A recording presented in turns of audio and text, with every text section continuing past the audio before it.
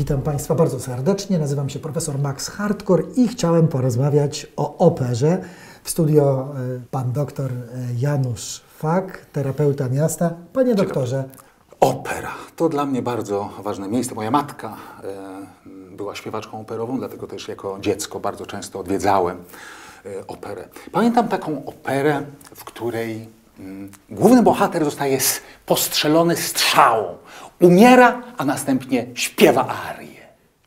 Następnie śpiewa w duecie ze zrozpaczoną wdową, a następnie w tercecie na swoim własnym pogrzebie. Dlatego myślę, że opera, jak nic innego właściwie, potrafi najlepiej oswoić człowieka ze śmiercią, pokazać, że, y, że właściwie piosenka jest dobra na wszystko, a śmierć właściwie nie istnieje. panie doktorze, dotknął pan ciekawego aspektu oddziaływania opery na ludzką duszę.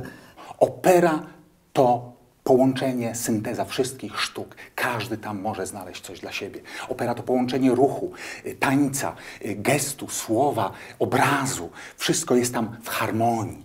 Y, Dlatego ten, kto nie lubi na przykład słowa, może skupić się na ruchu, na tańcu. Kto nie lubi tańca, jeżeli tacy istnieją, może się skupić na muzyce.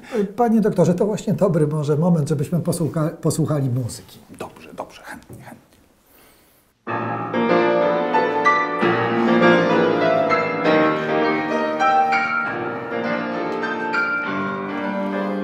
Państwa, teraz gratka dla miłośników e, opery. Odwiedził nas sam pan Dionizy Dąb. Głoskowicz, przypomnę panu profesorowi. Dziękuję panu bardzo za przybycie. E, Temat naszego spotkania Polska Opera.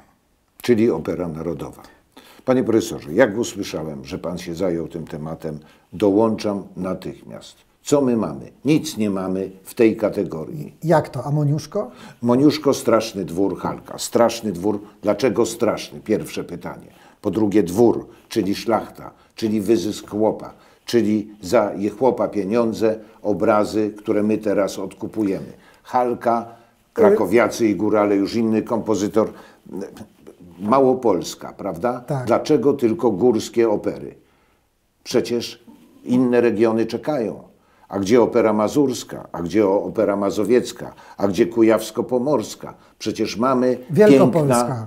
Wiel, no, Wielkopolska, prawda? Przede wszystkim od niej bym zaczął.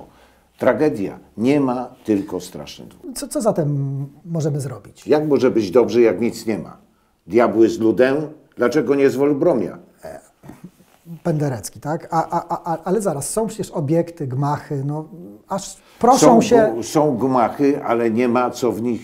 Proszę pana, co? Puccini, Mozart, Mm. tak? Śmieszne nazwiska i nie polskie, Oczywiście, prawda? poza tym oni nie dali y, Polsce nic. Dali Polsce to samo, co całemu światu. No właśnie. E, panie Dionizy, mam dla Pana miłą niespodziankę. Młody polski kompozytor, młoda polska śpiewaczka, nowa polska opera narodowa. Może posłuchamy.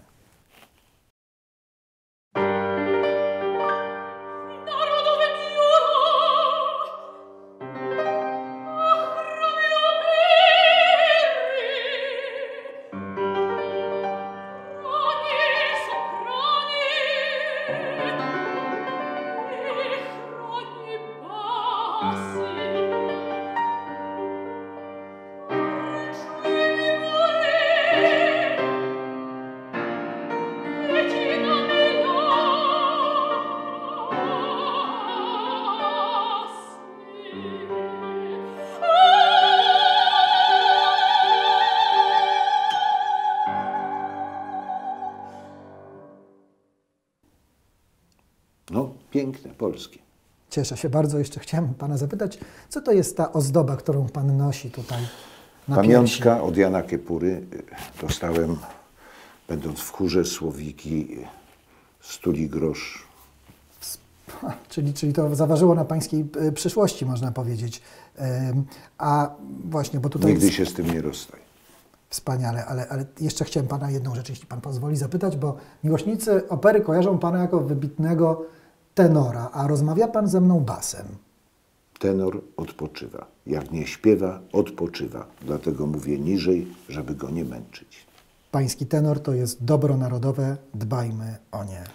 Dziękuję Panu, bylebym się nie przeziębił.